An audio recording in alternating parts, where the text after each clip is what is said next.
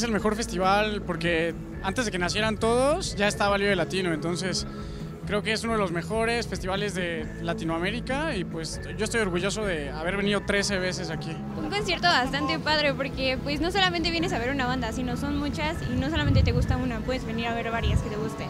Es uno de los mejores eventos de México, este, mucha cultura, muchos eh, artistas, vienes a compartir la mejor música del país y de todo el continente. Venimos a ver a Tudor Cinema Club,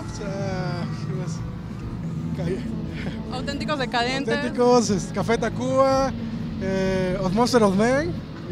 Y los Acapulco.